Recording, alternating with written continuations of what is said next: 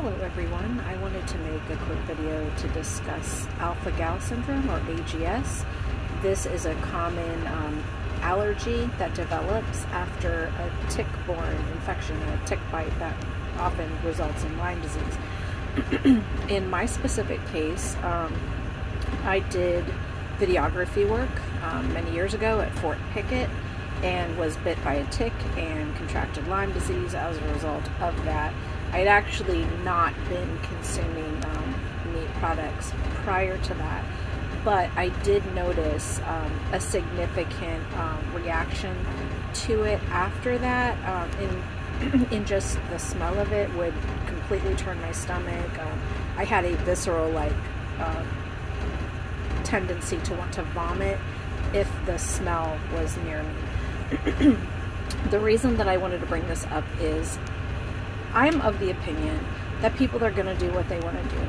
They may adopt a plant based diet, they may not.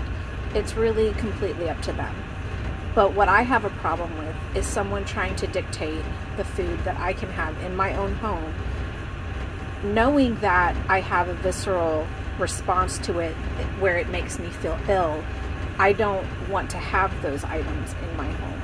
And when I feel like I'm being uh, coerced by other people to have those items in my home. I am offended by that. I'm upset by that because it feels intrusive, it feels unnecessary, and at some level, it also feels like interference with um, medical self directive care. So, I would just like to say that if there are people outside of my knowledge or people that even are you know within my sphere of influence that are taking steps to try to dictate to try to dictate and control aspects of my life which include things uh, that they are trying to dictate that I bring into my home. I just want to say that you need to get a life. You need to uh, focus on yourself.